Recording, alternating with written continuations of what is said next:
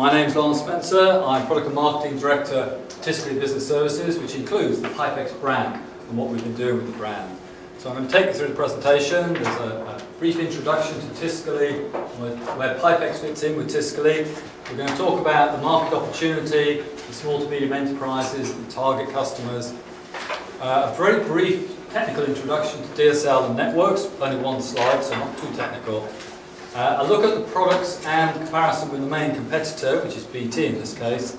Uh, and then onto the IBA IBM commission scheme and some particular incentives for the IBAs and IBMs. And then finally, a few summary slides.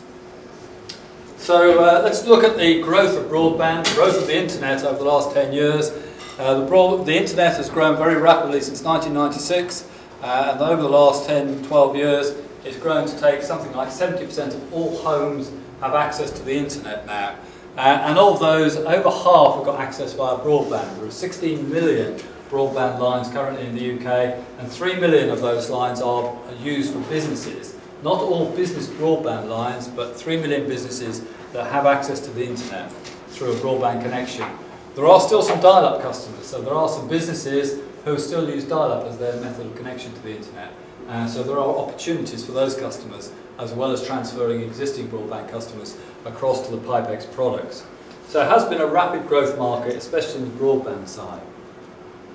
Uh, Tiscali uh, UK was formed in 2001 as part of the acquisition of LineOne and the management team that came out of LineOne, Mary Turner and her management team, are all still in Tiscali now, seven years later. It's a very solid management team and most of the growth of Tiscali is, is down to their skills of navigating through this very complex market.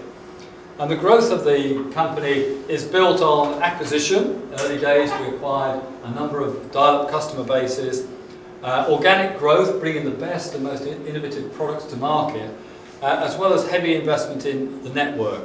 Uh, we were a leading user of BT's data stream network, and that's grown very successfully. Now we have something like three quarters of a million customers on that network.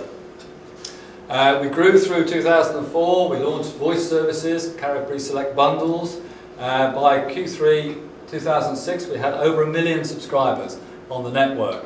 Uh, in, also in 2006 we acquired a company called HomeChoice VNL, uh, which has allowed us to offer, offer uh, IPTV services to the consumer market.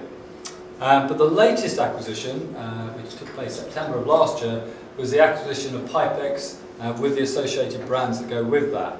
And that was an important step for the business side of the activity.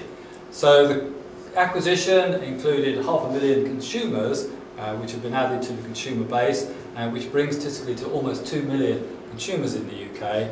Uh, but importantly for today's discussions, it, we acquired 140,000 business customers uh, across the Pipex and the other brands associated with Pipex. So we are now a significant player in the small to medium enterprise business marketplace.